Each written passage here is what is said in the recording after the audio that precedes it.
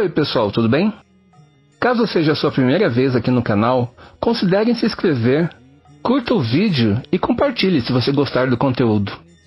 E se você já faz parte de nossa família e quer ajudar na nossa produção de vídeos, seja membro. Isso contribuirá para que aumentemos nossas pesquisas e qualidade dos vídeos. Há um costume popular na Índia que adorar Hanuman ajudará a remover todas as dificuldades causadas por Saturno no mapa astrológico de cada um. As pessoas adoram Hanuman aos sábados para remover as influências maléficas de Sani, Saturno. De acordo com a astrologia hindu, o mau posicionamento de Sani resulta em um período muito difícil na vida. Há uma história interessante porque adorar Hanuman ajudará a superar a influência de Saturno no signo da pessoa.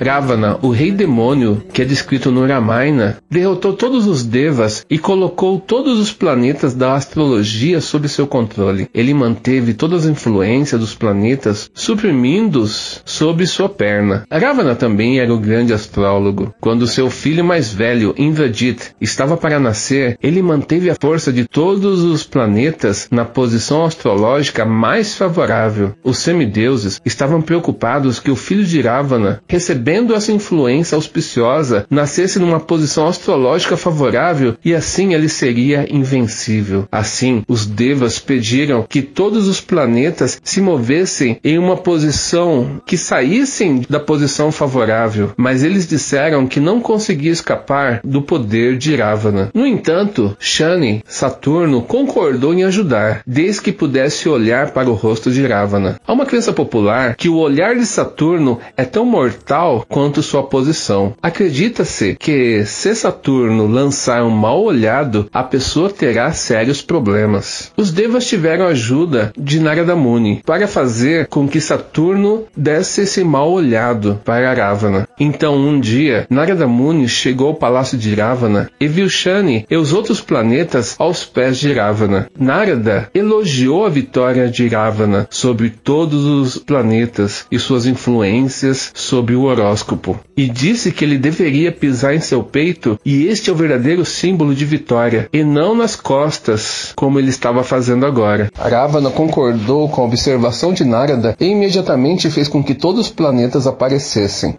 Quando Saturno apareceu, deu um mal olhado para Ravana, e isso deu início a muitas dificuldades. Para se vingar de Shani, Ravana o manteve em uma prisão que não tinha abertura para que ninguém pudesse ver novamente o rosto de Shani. Depois de vários anos, quando Hanuma chegou a Lanka, no reino de Ravana, como mensageiro de Rama para a mãe Sita, ele ouviu um grito vindo da prisão de Shani. Hanuman abriu a prisão e resgatou Shani. E Shani disse que estava muito grato pela ajuda que ele recebeu, mas como ele olhou para o rosto de Hanuman, haveria dificuldades que Hanuman enfrentaria dali para frente. Shani explicou que esse era um esquema divino que ninguém poderia escapar. Hanuman queria saber quais sofrimentos ele teria que enfrentar. E Shani explicou que as primeiras influências de Shani é uma pessoa deixada deixar a casa, esposas e filhos e continuar sofrendo. Hanuman disse a Shani que isso poderia acontecer, pois ele não tinha família e a morada dele era aos pés do Sr. Rama. Então Saturno ficou tão satisfeito que se refugiou na cabeça de Hanuman como um ornamento. Quando Hanuman começou a lutar com os demônios que o perseguiam em Lanka, começou a derrubar várias pedras e árvores e rochas sobre aqueles demônios. Mas enquanto ele levantava aquelas pedras enormes sobre a cabeça, Saturno estava se machucando e sofrendo no processo. Finalmente, Shani se afastou da cabeça de Hanuman e disse que ele é o único que não teria efeito de inauspiciosidade.